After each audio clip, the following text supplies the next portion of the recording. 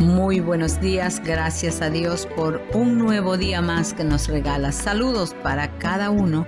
Les invitamos a presentarnos en oración ante nuestro Creador. Padre bondadoso, Dios de misericordia, humillada y arrepentida, imploro el perdón de mis pecados. Escucha la oración de gratitud. Gracias por la vida, la salud, el descanso, la nueva energía, cada misericordia que tienes para nosotros. Nuestro corazón te glorifica, te adora y te alaba, porque eres Dios bueno, lento para la ira, grande en misericordia y bondad. Bendito seas por los siglos y para siempre. Cada familia está en tu presencia. Pedimos, Señor, que tú cubras, llenes de fe, de esperanza y seguridad a cada uno en su necesidad. Los que alegres, felices vienen a ti a rendirte adoración, tú la recibas como una ofrenda de olor suave, Dios mío. Bendice a cada uno. Y presentamos la dirección de la iglesia. Planes, proyectos de tu siervo están delante de ti, que tu misericordia y tu amor lo acompañe en todo, y no solo a él, a su familia, todos los que trabajan para ti puedan sentir tu presencia, las bendiciones que sobreabundan en sus vidas. Te pedimos por los pastores, por los líderes, los que trabajan en diferentes países, vean tu amor, tu misericordia en sus vidas. Quédate con nosotros, Señor, y bendice las iglesias de este día, sean edificadas también. Te pedimos por los que van a su trabajo, guárdales de todo mal, de todo peligro, en las carreteras, libra de accidente y cuida de los niños en el hogar o en las escuelas, donde quiera que estén, tu bendición los acompañe y los lleve cuidados siempre y protegidos de todo lo que les quiera dañar. Los jóvenes están delante de ti, los ancianitos, los que están en cárceles, en asilos y en hospitales, tengan tu protección y cuidado. Permítenos, Dios mío, que la palabra que será compartida llene nuestra alma y con alegría y gratitud podamos ponerla en práctica para nuestra bendición. Enséñanos el camino correcto para caminar por él en temor santo, en gratitud por todo lo que tú nos das. Los enfermos, los afligidos, todos están delante de ti. Quédate con nosotros, te lo ruego humildemente en el nombre de Cristo Jesús. Amén. Padre nuestro que estás en los cielos, santificado sea tu nombre venga tu reino, sea hecha tu voluntad, como en el cielo, así también en la tierra. Danos hoy nuestro pan cotidiano y perdónanos nuestras deudas, como también nosotros perdonamos a nuestros deudores. Y no nos metas en tentación más. Líbranos del mal, porque tuyo es el reino, y el poder, y la gloria por todos los siglos. Amén. Gloria a Dios deseamos compartir esta alabanza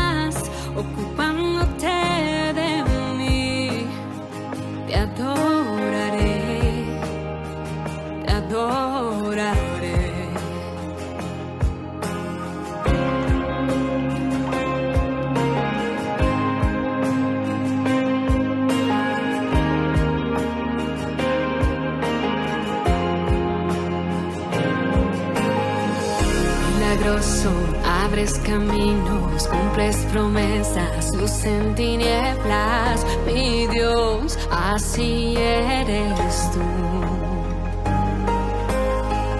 Milagroso, abres caminos, cumples promesas, luz en tinieblas, mi Dios, así eres tú.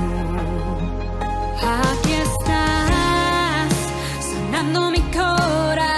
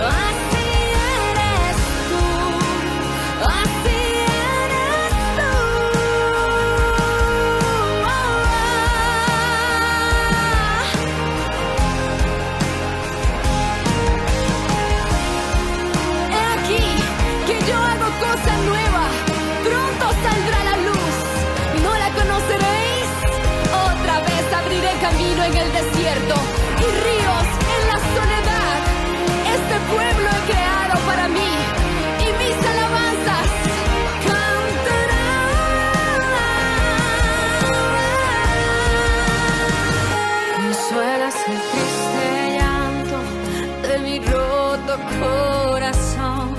Mi respuesta eres tú, Cristo. Consuelas el triste llanto de mi roto corazón. Mi respuesta eres tú, Cristo.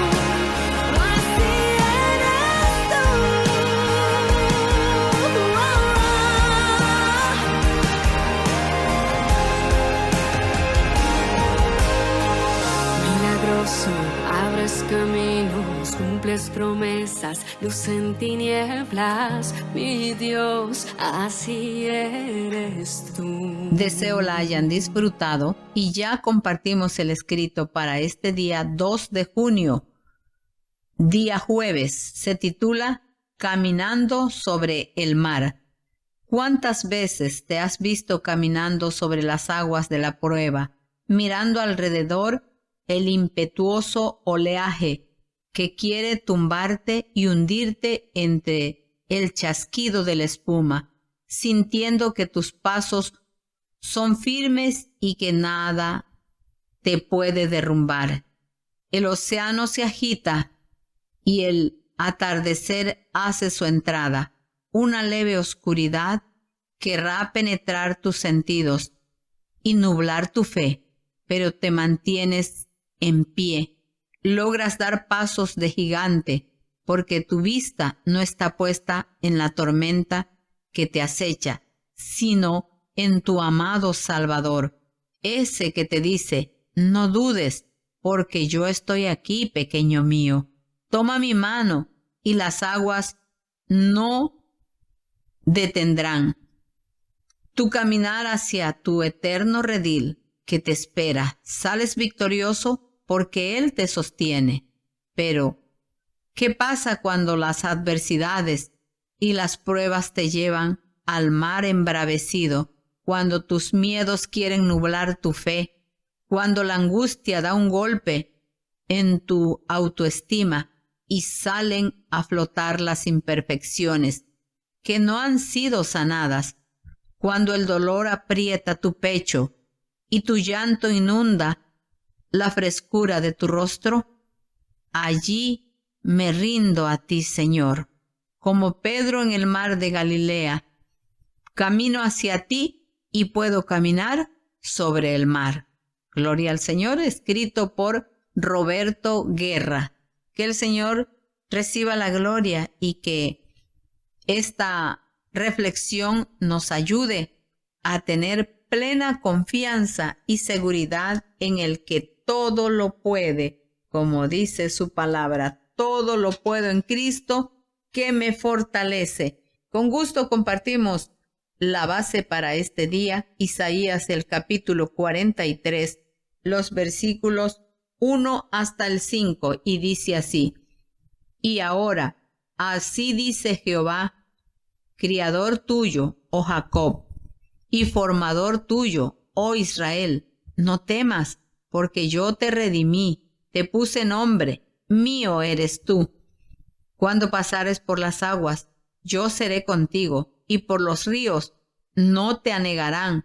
Cuando pasares por el fuego, no te quemarás, ni la llama arderá en ti. Porque yo, Jehová, Dios tuyo, el Santo de Israel, soy tu Salvador. A Egipto he dado por tu rescate, a Etiopía y a Seba por ti, porque en mis ojos fuiste de grande estima, fuiste honorable, yo te amé, daré pues hombres por ti y naciones por tu alma. No temas, porque yo soy contigo. Del oriente traeré tu generación y del occidente te recogeré. Que el Señor reciba la gloria de su bendita palabra compartida. Qué confianza y qué promesa más hermosa hecha a Israel. Bueno, qué bendición. Y si así, con ese amor, Dios trataba a su pueblo, no nos va a tratar a nosotros con esa bondad, con ese amor, con esa misericordia. Solamente necesitamos poner plena confianza y seguridad en Él. Que venga lo que venga, como dice eh, la reflexión que fue compartida interesante, cuando todo pinta bien, cuando caminamos con pasos firmes, qué hermoso y qué bien nos sentimos, pero qué tal cuando llega la tormenta, cuando la adversidad se presenta y comienza la prueba a llevarnos a ese mar embravecido, cuando el miedo se apodera de nosotros y sentimos que la fe comienza a faltar y nuestra alma se comienza a angustiar. Pero qué belleza es cuando allí mismo de una manera tan hermosa que a veces no podemos describir, así como estamos sintiendo ese miedo que se apodera de nosotros, surge también esa fe gloriosa que nos afirma y nos trae a la memoria cuántas promesas, cuántas bondades, cuántas misericordia de nuestro Dios para sostenernos y no dejarnos caer. Allí es donde nuestro pie se afirma, donde nuestra mente comienza a refrescarse trayendo a la memoria las promesas que no nos dejaría solo, estaría con nosotros todos los días hasta el fin del mundo y entonces tranquilos, satisfechos, así como hablaba a su pueblo, podemos nosotros también avanzar, seguros en Dios, puesta la mirada en el que todo lo puede, en el que es capaz de sacarnos del lodo, de la oscuridad, de las tinieblas, y agarrados de su mano, rendidos ante Él, porque nos pasan estas situaciones muchas veces porque sin darnos cuenta nos vamos alejando de Él y comenzamos a vivir cosas que no son correctas y comenzamos que a lo mejor no son tampoco cosas malas, pero son cosas que nos quitan el tiempo y hemos dejado de cumplir con nuestro deber sagrado, que es estar en comunión con Dios en oración siempre, una mente conectada con Dios y comenzamos a conectarnos para otras cosas y quitamos el tiempo que es para Dios y lo usamos para las cosas de esta vida. Y ahí es cuando la fe comienza a faltar, comenzamos a angustiarnos, a sentir que nos estamos hundiendo, pero tan grande es el amor de Dios que allí mismo viene al rescate y nuestra mente se fortalece y caemos de rodillas, como dice una alabanza, y comenzamos a clamar misericordia. Aquí estoy, mi Señor, rendido a tus pies. Aquí espero de tu gracia, de tu fortaleza. Y cuántas veces nos levantamos de esa oración ya con una mentalidad diferente, mirando las cosas de una manera diferente y glorificamos a Dios porque nos ha renovado las fuerzas, la entrega y la esperanza. Qué belleza, qué lindo es nuestro Dios. No nos alejemos de Él, gocemos de su amor, de su gracia y vamos a vivir en la seguridad de que solos no estamos. Él está con nosotros y vamos a seguirnos llenando de Él y es leyendo su palabra. Les invitamos a seguir leyendo el Salmo capítulo 23 hasta el 25. Preciosos salmos llenos de promesa. Así es que les invitamos a llenarse de fe, de esperanza y de seguridad en Cristo Jesús, nuestro Señor. Y ya despedimos en bendición. Que el amor de Dios, la gracia y la paz de Cristo, nuestro Salvador, la compañía y la comunión del Espíritu Santo, que es nuestro eterno consolador, sea con cada uno de sus hijos desde ahora y para siempre. Amén.